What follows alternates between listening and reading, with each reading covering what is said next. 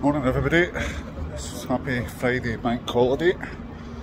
Today I'm going to get a haircut, so I'm off to Safe Hand Barbers, which is in Parnie Street, um, just near the Trongate. There's a Tron building there, um, which is the best barbers in the town as far as I'm concerned. I'm Going to see my barber Daryl, a short bank sides then later on.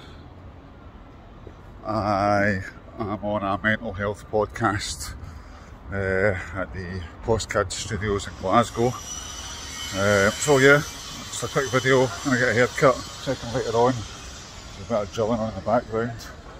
Um, but if anybody's looking for safe hand barbers, uh, they are in Hartley Street, which is be back street near TK Maxx or TJ Hughes, used to be the Trongate, and they are just over there. Daryl now and uh, yeah, get freshened up.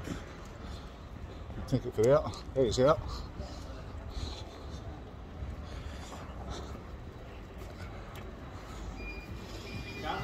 Alright mate, double bubble.